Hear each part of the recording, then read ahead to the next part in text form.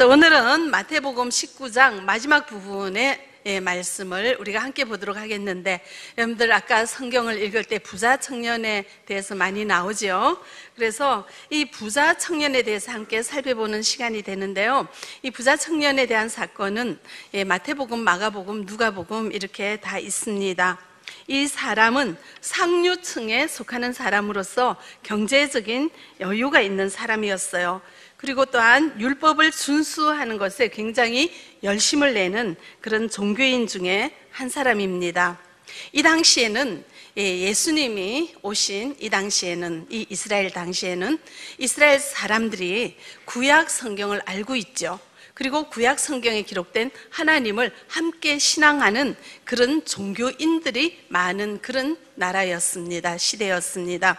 그런데 한 가지 특이한 것은 구약 성경에 있는 그 성경을 그대로 읽고 묵상하고 신앙하는 것이 아니라 이 종교인들이 자기네들이 살아온 전통에 따른 여러 가지 조항들을 성경에다가 더해서 만든 경전이라는 걸 가지고 그것을 더 말씀보다 더 위에 놓고 섬기는 약간 변형된 약간 혼탁한 그런 세상이었어요. 그래도 이 당시 그분들은 예, 자기네들은 신앙을 한다고 예, 알고 있지만 예, 진실 진심으로 신앙하는 사람들은 참 드문 그런 시대였고요.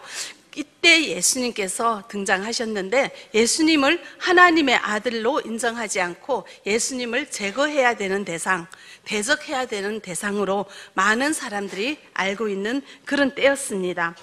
그때 열심히 종교 생활을 하는 이 청년이 예수님께 와서 질문을 합니다. 16절 우리 같이 읽어보겠습니다. 어떤 사람이 주께 와서 이르되 선생님이여 내가 무슨 선한 일을 하여야 영생을 얻으리까 자, 이분은 신앙생활을 하는 사람이기 때문에 영생에 대해서 관심이 있었고요. 근데 영생을 어떻게 선한 일을 해야지 영생을 얻을 수 있습니까? 이런 질문을 하는 것입니다. 자, 영생은 선한 일을 해서 얻는 것이 아니라 무엇으로 얻습니까? 믿음으로 얻는 거죠. 영생을 얻는다는 것은 구원을 받는다는 것과 같고 하나님 자녀 된다는 것 같고 천국 백성 된다는 얘기잖아요. 그러므로 영생은 선한 일을 해서 얻는 것이 아니라 믿음으로 얻는 것입니다. 믿음으로 얻는다는 것은 내가 죄인됨을 인정하고 나의 죄를 대신하여 예수님께서 십자가에 죽으시고 부활하셨다는 것을 믿음으로써 죄가 없는 거룩한 백성 되었기에 하나님의 자녀가 될 수 있는 그런 은혜를 받는 것이죠. 이것이 영생을 얻는 것입니다. 그런데 이 부자 청년은 내가 영생을 얻기 위해서 굉장히 많이 노력했는데 뭔가 부족하다고 느끼는 거예요. 그래서 이 부족한 것이 무엇인지 알기 위해서 우리 예수님을 찾아온 것입니다. 그런데 이 부자 청년이 예수님께 이 질문을 할 때 어떤 자세로 질문을 했냐면은 그 사람들이 많이 다니는 길에 꿇어 앉아서 예수님께 질문을 했습니다. 매우 공손한 태도로 예수님께 질문을 했죠. 근데 이 당시 사람들은 예수님을 제거해야 될 대상으로 알고 핍박하는 대상이 예수님인데 그런 사람들의 시선에 아랑곳하지 않고 주님 앞에 꿇어 앉아서 이 질문을 할 정도로 영적 진리가 갈급한 그런 사람이었습니다. 자, 이런 이 부자 청년의 질문에 예수님은 대답하십니다. 17절로 20절까지 같이 읽어보겠습니다. 예수께서 이르시되 어찌하여 선한 일을 내게 묻느냐? 선한 이는 오직 한 분이시니라. 내가 생명에 들어가려면 계명들을 지키라. 이르되 어느 계명이 오니까? 예수께서 이르시되 살인하지 말라 간음하지 말라. 도둑질하지 말라. 거짓 증언 하지 말라. 내 부모를 공경하라. 내 이웃을 내 자신과 같이 사랑하라 하신 것이니라. 그 청년이 이르되 이 모든 것을 내가 지키었사온데 아직도 무엇이 부족하니까. 아멘.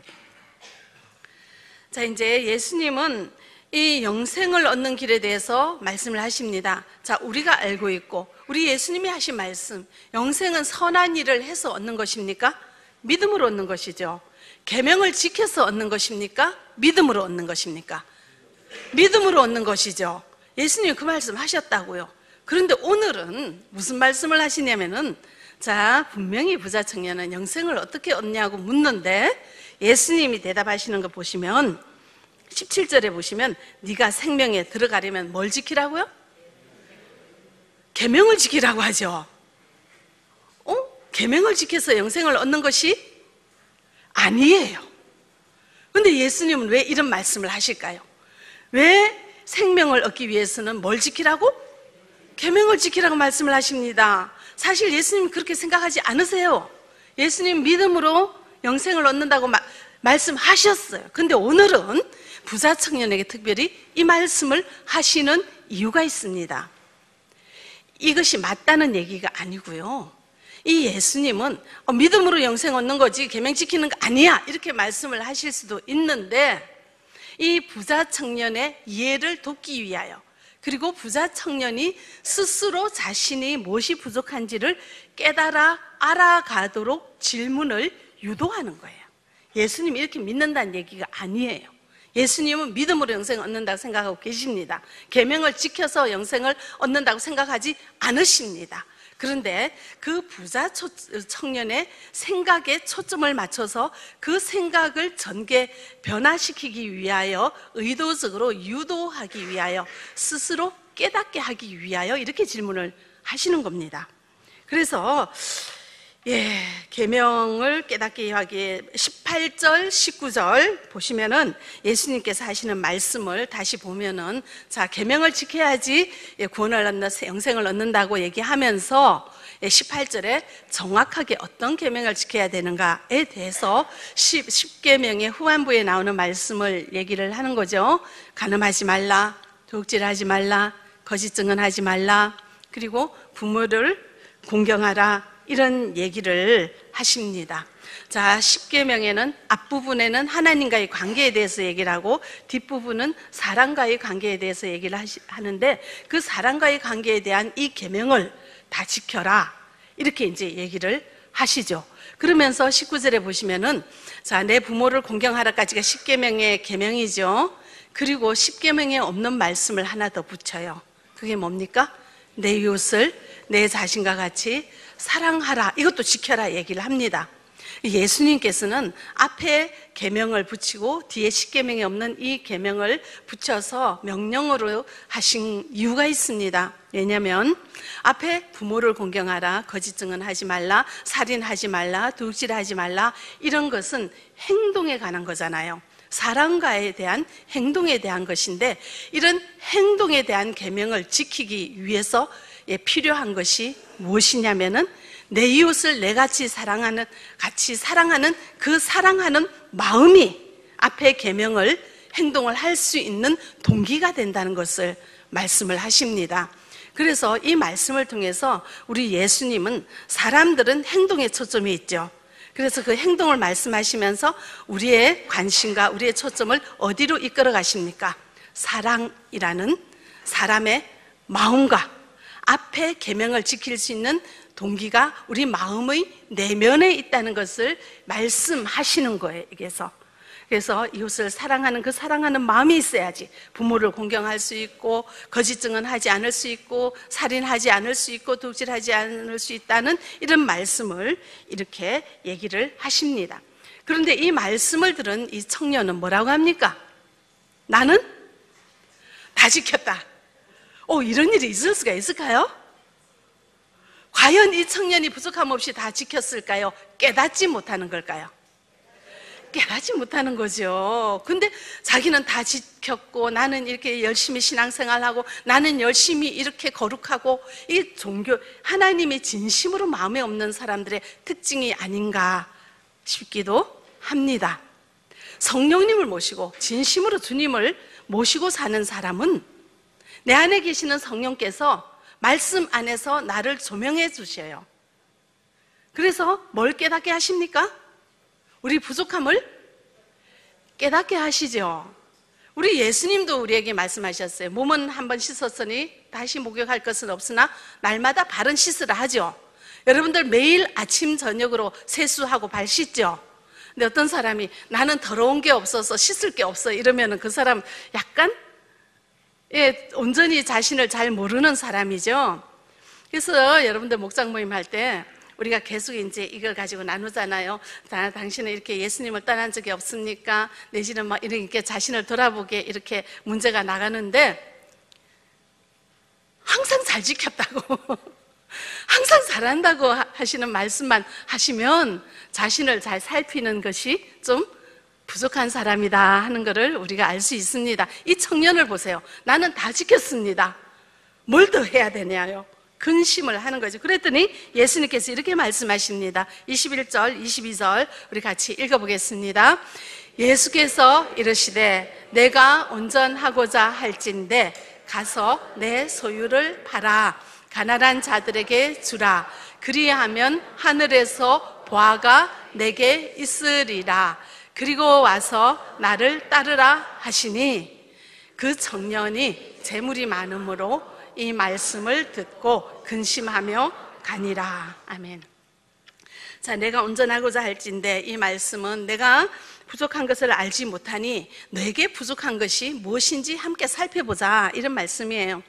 근데 예수님은 다 아셨어요. 이 청년의 모든 상태를. 그래서 너 이거 해라. 이거 채워라. 이래라. 말씀하면 되는데 예수님은 그 말씀을 하지 않고 질문을 통해서 명령을 통해서 스스로 깨닫기를 원하고 계세요. 스스로 깨닫기를. 예. 그래서 이제 하는 말씀이 뭐냐면은 내 소유를 팔아서 가난한 자에게 나눠주라고 말씀하십니다. 예수님은 이 청년이 재물이 많은 거 알고 계시고 뭐 어떤 마음인지 알고 계시죠? 만약에 이 부자 청년이 진심으로 영생을 얻기를 원한다면 진심으로 주님을 믿기를 원한다. 주님의 말씀이면 네, 아멘 하고 얼른 하겠죠.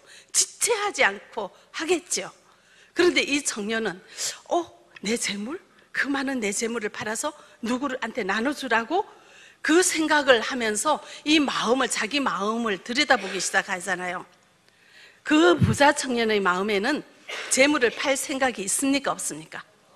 없어요. 그러면은 이 부자 청년의 마음에는 예수님이 주인으로 있습니까? 재물이 주인으로 있습니까? 재물이 주인이에요. 그걸 모르고 있었어요.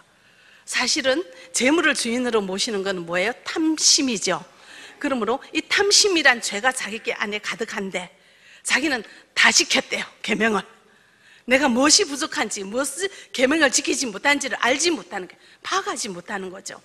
자기가 무엇이 부족한지, 주님 앞에 죄가 무엇인지를 깨닫지 못하는 예, 약간 우둔한 심령을 가지고 있는 거죠. 왜냐? 탐심과 탐욕과 정욕과 이생의 자랑이라는 죄에 묶여서 내가 어떤 죄가 있는지를 들여다보지 못한 채 나 다 잘 지켰습니다. 더 할 일이 없어요, 나는. 뭘 더 해야 되죠? 예수님께 이렇게 질문하게 예수님이 콕 집어서 재물을 팔아서 나눠주라 하니까는 그것을 예, 근심하며 돌아갔습니다. 자, 이것을 봤을 때 이 부자 청년은 주님, 예수님 앞에서 그랬네요. 내가 그게 부족하네요. 내가 그게 죄입니다, 주님. 내 그 죄를 용서해 주시고 이제 주님만 따르겠으니 뭐든지 다 하겠습니다. 이런 말씀을 했다, 말을 했다면 진심으로 믿는 성도가 됐을 텐데 그러지 못했죠. 예, 그러므로 이 부자 청년은 마음에는 주님을 진심으로 섬기고자 하는 마음이 있습니까? 없습니까?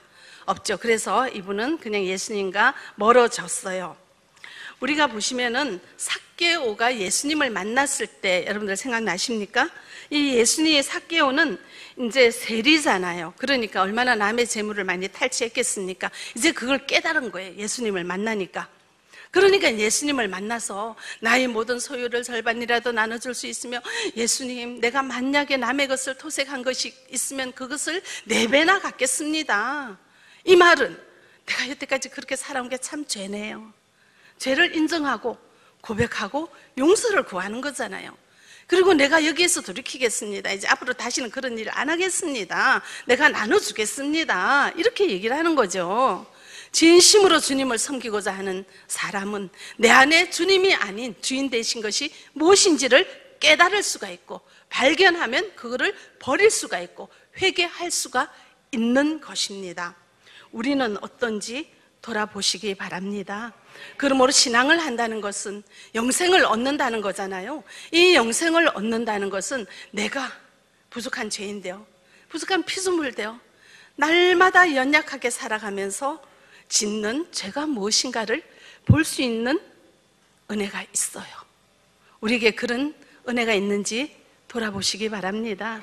우리는 이미 죄인임을 고백했기 때문에 하나님 자녀 되었습니다. 그러나 날마다 발을 씻으라는 주님의 말씀에 의거해서 날마다 티끌같이 많은 죄악된 세상에서 살면서 오늘도 내가 죄로 오염되지 않았는지 나에게 씌어 있는 티끌 같은 더러운 먼지는 무엇이 있는지 스스로 살피며 경건하며 거룩함에 이르는 연습을 날마다 하며 살아야 되는 것이 진실한 성도인 것을 깨달으시기 바랍니다. 그래서 우리는 목장 모임을 통해서 여러 가지 말씀을 나누지 않습니까? 그럴 때 진심으로 자신을 볼 수 있기를 바랍니다. 우리가 내 안에 누가 계십니까? 성령님 계시죠? 성령님은 말씀 안에서 우리를 조명하십니다. 여기 조명이 있죠. 밝히 드러나잖아요. 성령이 안에 계시는 분은 말씀에 대해서 조명을 해주시니까 말씀이 깨달아지고요. 이 말씀을 깨닫는 자는 말씀에 비추어 자신을 보게 됩니다. 말씀은 뭘 깨닫게 합니까? 죄를 깨닫게 하잖아요. 우리가 얼마나 부족한지, 주님 앞에 거룩함에 이르기 위해서 오늘도 해야 되는 일은 무엇인지, 주님이 얼마나 나를 사랑하는지, 주님과 관계가 되고 주님과 가까워지고 살아가는 것이 진실한 성도의 자세인 것입니다. 그러므로 오늘 우리는 그렇게 살고 있는지 돌아볼 수 있기를 바랍니다. 이 바른 신앙을 갖지 않으면 우리는 이단에 빠질 수가 있습니다. 우리 한중 사랑교회를 다니면서 이단에 가신 분들이 얼마나 많은지요. 얼마나 많은지요.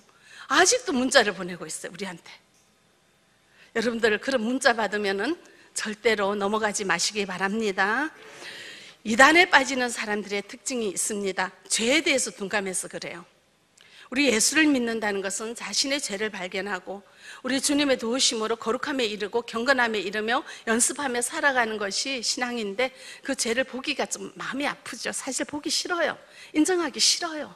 그래서 많은 사람들은 그거, 거기에 눈을 닫고 딴 데 관심을 가져요. 어, 저도 이제 우리 아들이 아파서 예수를 믿게 되고 주님 도와주세요. 건강하게 해주세요. 낫게 해주세요. 그런 현실적인 문제를 가지고 예수를 믿게, 예수님을 믿게 됐지만 예수님 그걸 해주세요, 사실은. 그런데 근데 해주면 해주시면서 우리에게 요구하는 것은 말씀 안에서 우리 심령을 조명해서 내가 얼마나 부족한 죄인님이 얼마나 은혜를 입은 자인가를 깨닫게 해서 나의 그런 십자가의 감격과 십자가의 은혜와 십자가의 사랑에 너무 감사해서 지금까지 오는 것이 신앙인데 성령님의 조명으로 말씀을 보는 것을 막아버리는 자가 있어요.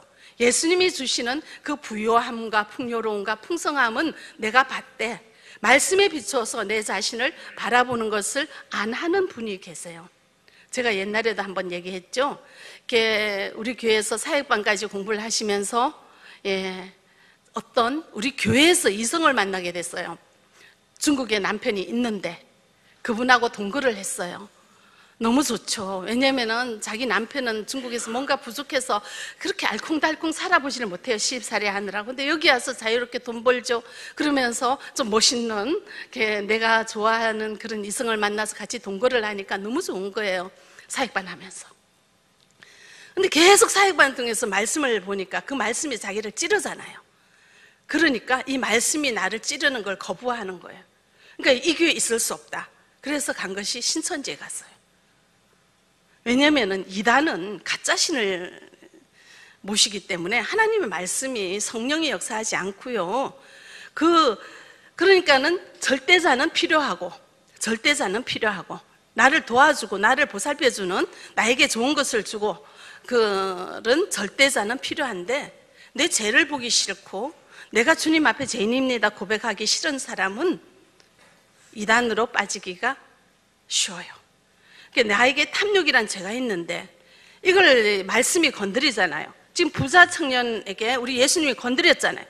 그러면 그걸 받아들이고 사교서 아, 그렇죠. 제가 그렇게 불의한 그로 예, 재산을 얻었습니다. 제가 이거 나눠주겠습니다. 잘못했습니다. 하면은 예수님을 따를 수 있는데 이걸 거부하는 거죠.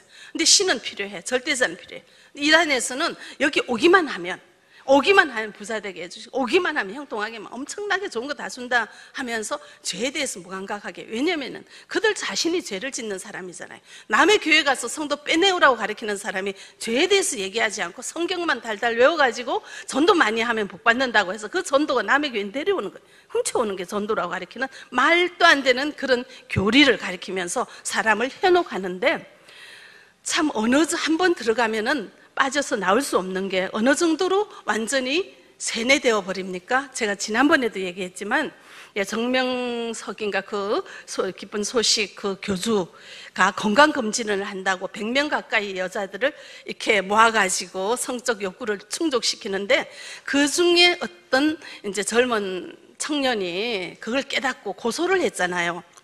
그랬더니 그 고소를 하는 그 청년의 엄마가 그 자기 딸을 불러가지고 얘야, 너 그럼 하나님 앞에 벌 받는다. 이 건강검진 받는 게 얼마나 축복인지 아니. 나도 건강검진을 받았다. 그러면서 자기 딸이 그 교주의 성적 놀이개가 되는 것을 건강검진을 받은 축복된 일이라고 하면서 어, 세상에 고소하는 것을 너 그러다가 하나님 벌 받는다고 말을 하는 그 정도로 이 영적인 세상적인 상식적인 분별력을 잃어버리면서 이 세상에서 사람답게 사는 것을 잃어버리도록 만드는 것이 이단이에요. 그런데 끌려가는 이유는 내 안의 죄를 해결하지 않고 탐욕과 정욕을 주님을 통해서 채우려고 하는 잘못된 신앙이 우리를 그런 그릇된 길로 인도한다는 것을 여러분들 깨닫고 절대로 그런데 넘어가지 마시기 바랍니다. 그래서 바른 신앙이 무엇인지에 대한 여러분들 확 고한 정리를 하시고 정립을 하셔야지 여러분들 신앙하면서 주님으로 받는 은혜와 축복 가운데 살아가게 된다는 것을 기억하시기 바랍니다. 이렇게 재물이 주님을 만나는 것이 굉장히 방해를 해요. 방해를 해요. 그래서 예수님은 그런 얘기를 하시죠. 23절로 26절까지 같이 읽어보겠습니다. 예수께서 제자들에게 이르시되 내가 진실로 너에게 이르노니 부자는 천국에 들어가기가 어려우니라. 다시 너에게 말하노니 낙타가 반알기로 들어가는 것이 부자가 하나님의 나라에 들어가는 것보다 쉬우니라 하시니 제자들이 듣고 몹시 놀라 이르되 그렇다면 누가 구원을 얻을 수 있으리까 예수께서 그들을 보시며 이르시되 사람으로는 할 수 없으나 하나님으로서는 다 하실 수 있느니라. 아멘. 네. 낙타가 바늘기로 들어가는 게 부자가 천국 들어가는 게 더 쉽다는 거죠. 예. 낙타가 바늘기로 들어갈 수 없죠. 그러므로 부자가 하나님을 믿는 신앙한다는 굉장히 어렵다는 그만큼 재물이 우리 신앙에 참 걸림돌이 된다는 이런 말씀을 비유로 이렇게 강하게 말씀을 하셨어요. 그러나 부자가 하나님 자녀 안 된다는 것은 아닙니다. 그러니까 그럼 부자는 아무도 그러면 하나님 자녀 안 됩니까? 했더니 예수님이 하나님은 하신다는 거죠. 하나님은 하신다는 거죠. 자, 바나바도 부자였잖아요. 아리마대 요셉도 부자였죠. 사케오도 부자였죠. 부자도 하나님께서 하시면 하나님 백성 된다는 말씀을 하셨는데 그 정도로 사람이 재물에 약하다는 얘기를 이렇게 하셨습니다. 자, 이렇게 베드로가 또한 그 이제 적극적인 베드로가 제자들의 생각을 대변해서 우리 예수님께 하는 질문이 있습니다. 자, 27절 우리 같이 읽어 보겠습니다. 이에 베드로가 대답하여 이르되 보소서 우리가 모든 것을 버리고 주를 따라 싸운즉 그런즉 우리가 무엇을 얻으리까 아멘. 자 이게 제자들하고 베드로 어떻게 부자 청년의 차이점은 뭐죠? 부자 청년은 예수님을 떠났죠. 그런데 이 베드로와 제자들은 예수님께 함께 있죠. 그런데 이 베드로는 예수님을 따를 때 어떻게 했냐면 마태복음 4장 19절에 보시면 예수님께서 베드로가 어부죠. 어부인 베드로에게 나를 따르라 했을 때 이 베드로는 어부가 고, 그물이 있죠. 그물이 생업의 도구죠. 귀한 거. 그 그물을 버려두고 우리 예수님을 따랐어요. 그러니까 이제 이 베드로와 제자들은 이 세상의 모든 가치를 다 버려두고 우리 예수님을 최우선으로 해서 따랐다는 거잖아요. 그러니까 저 청년 저렇게 가는데 우리는 예수님, 예수님 이렇게 따라다라고 잘 하고 있지 않습니까? 그럼 뭐 좋은 거 주셔야죠. 뭘 주실 거예요? 우리가 얻는 게 뭐가 있습니까? 아우, 되게 솔직해요. 우리 예수님, 음, 그렇게 이제 물어봅니다. 우리도 간혹 이런 질문 하고 싶을 때가 있죠. 너무 열심히 하는데 참 어려운 일이 생기고요. 너무 열심히 하는데 가정의 고난이 끊어지지 않을 때가 있습니다. 그럴 때는 우리가 예수님한테 이런 얘기 하고 싶어요. 우리 뭐 좀 왜 안 주십니까? 나 이렇게 신앙생활 열심히 하는데 왜 안 주십니까? 예, 이런 말씀을 드리고 싶을 때가 있죠. 질병 가운데 있는 자 얼마나 아프겠습니까? 얼마나 힘듭니까? 그리고 그죠? 참 여러 가지 문제가 끊이지지 않게 가정마다 문제 없는 집 없고요. 힘든 일 없는 집이 없더라고요. 근데 그런 마음으로 우리도 이런 질문을 하고 싶습니다. 네, 그런데 이런 질문을 받으신 우리 예수님께서 하시는 대답 28절로 30절까지 우리 같이 읽어보겠습니다. 예수께서 이르시되 내가 진실로 너희에게 이르노니 세상이 새롭게 되어 인자가 자기 영광의 보좌에 앉을 때 나를 따르는 너희도 열두 보좌에 앉아 이스라엘 열두 지파를 심판하리라. 또 내 이름을 위하여 집이나 형제나 자매나 부모나 자식이나 전토를 벌인 자마다 여러 배를 받고 또 영생을 상속하리라. 그러나 먼저 된 자로서 나중되고 나중된 자로서 먼저 될 자가 많으니라. 아멘. 예수님께서 보상을 해주신대요. 힘들고 어렵게 이 세상의 질구를 겪으면서도 주님을 따른 예, 그런 우리 성도들에게 그리고 이 제자들에게 아주 귀한 값진 보상을 주신대요. 자, 29절에 보시면은 내 이름을 위하여 집이나 형제나 자매나 부모나 자식이나 전토를 벌인 자마다 여러 배를 받고 여기에서 이 글자를 보면은 문자적으로 보면은 어? 자식을 버리고 부모를 버리고 땅을 버리고 어? 이걸 다 버리고 세상에 단절되어서 뭐 산꼭대기에서 산 깊숙한 곳에서 아무것도 없이 그냥 예수만 믿으라는 얘기인가? 이렇게 생각할 수가 있지만 이거는 그런 뜻이 아니고요. 버린다는 것은 주인 삼은 것을 버린다는 거예요. 예수님은 안, 안중에도 없이 자식을 주인 삼고 예, 부모를 주인 삼고 재물을 주인 삼고 부자 청년처럼 이렇게 주인 삼은 그런 위치에서 이 재물과 부모와 자식과 세상의 모든 것을 예, 누구 다음으로 놓고 예수님을 첫 뒤로 놓는 거예요. 예수님을 첫째로 놓고 이 모든 것을 뒤로 놓는 우선순위를 바꾸는 걸 이야기합니다. 그러면 이거 완전히 단절하고 절단하는 것이 아니라 예수님을 이런 것보다 최우선으로 섬기는 것. 우리 예수님을 주인으로 놨다는 그런 고백, 그런 말씀이에요. 자, 그래서 우리가 이 세상의 것 모든 것을 두 번째 이상으로 하고 예수님을 첫 번째로 놓고 따르는 자들에게는 어떤 보상이 있냐면은 자, 28절에 보시면은 열두 보좌에 앉아 이스라엘 열두 지파를 심판하리라. 우리 예수님과 함께 예수님 재림하실 때 예수님과 함께 영광의 자리에 앉는다는 것입니다. 우리가 보시면 디모데 후서 4장에 보시면 의의 멸류관을 주신다고 하고요. 생명의 멸류관을 주신다 하고요. 해같이 빛나는 상을 주신다고 말씀을 하십니다. 지금도 보세요. 우리가 지금 예, 이런 제자들이 사역했던 그로부터 2000년이 지난 지금 우리는 아직도 제자들이 어떤 일을 갔는지 무엇을 했는지 얼마나 위대한 일을 했는지 비록 인간적인 실수는 있을지라도 예, 남들이 할 수 없는 귀한 일을 했기 때문에 교회란 것이 전통이 되어서 지금까지 내려오고 그 기틀이 예, 세워진 이것을 우리가 하나하나 그 흔적과 족적을 보지 않습니까? 얼마나 주님의 귀한 제자들인가, 얼마나 우리가 바라보며 우리 마음에 본이 되고 존경하는 마음으로 추앙하는 마음으로 우리가 이 세상에 있는 우리도 이렇게 높이 높이 받들어 우리가 제자들을 볼 수가 있는데 이 제자들은 지금 우리 주님과 함께 얼마나 귀한 은혜 가운데, 예, 큰 복 가운데 그 영원한 천국에서 얼마나 누리고 있겠습니까?